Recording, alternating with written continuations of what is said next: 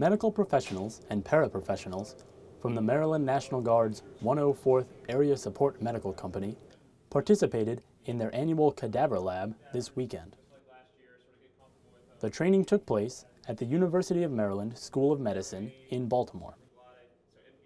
The use of cadavers is a crucial part of this training.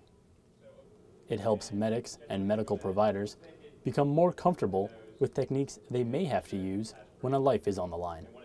We're equipping them and training them now to handle things that they could potentially be exposed to in the event that they were deployed.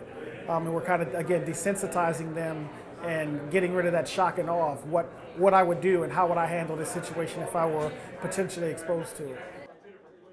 The hands-on training included practicing procedures for airway management, chest decompression, and wound closure. This type of training is invaluable for those medics not currently working in the medical field full time. Being trained as a medic and eventually becoming a doctor, I look back at my experiences in the cadaver lab and it's probably one of the most helpful experiences I've had as far as moving forward in my training as a doctor. Reporting for the 29th Mobile Public Affairs Detachment, I'm Private First Class Patrick Rooney.